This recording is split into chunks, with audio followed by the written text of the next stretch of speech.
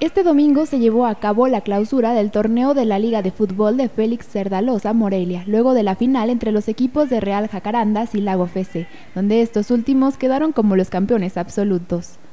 Pese a las adversidades ante las que se han enfrentado, Luis Cerda Herrera asegura que la idea es seguir los pasos de su abuelo e impulsar el deporte en los jóvenes morelianos para con ello alejarlos de malas conductas y vicios. Verdad, muy positiva. Empezamos el año pasado con 17 equipos. Ahorita en eh, el inicio de la liga fue con 32. Concluimos la liga con 28. Entonces cada vez vamos teniendo mejor aprobación. La intención es sacarlos de la rutina y que ellos puedan tener un domingo en familia y fomentar el deporte y la unión. La verdad, esto es un legado de mi abuelo que yo estoy tratando de, de seguirle los pasos. Él lo hizo con el Independiente y yo quiero hacer lo mismo con esta liga. La liga tenía un nombre, antes era Real Seanteguito y tuvieron problemas para conseguir eh, cancha y no tenían dónde jugar.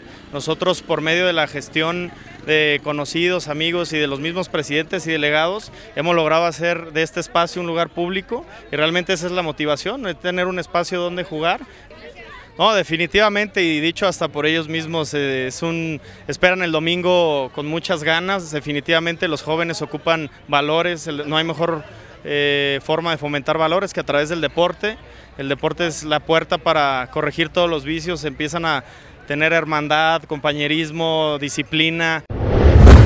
Por otra parte, Cristal Mondragón, delegada del Lago FC, externó que son jóvenes que han rescatado de situaciones difíciles como de bebida y drogas, por lo que se mostró feliz al ver el proceso de los jugadores y el campeonato conseguido. Chavos que estamos rescatando de en unas situaciones a veces difíciles de bebidas, de drogas y de todo, y este, estamos impulsándolos a que agarren un, un buen equipo y, y va adelante. Este domingo cerraron con la final de Copa donde se enfrentaron el Deportivo Dalí y Pacandas, siendo los primeros los vencedores, y de liga entre el Real Jacarandas y Lago FC. A la clausura asistieron Víctor Amezco Arrieta, Pablo Sánchez Silva, Matías Marroquín. Los tres fungen como delegados.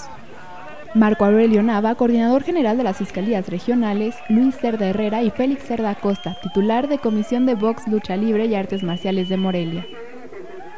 Con información de Karen Mójica e imágenes de Daniel Gómez, Agencia Cuadratín. Grupo de Oro presentó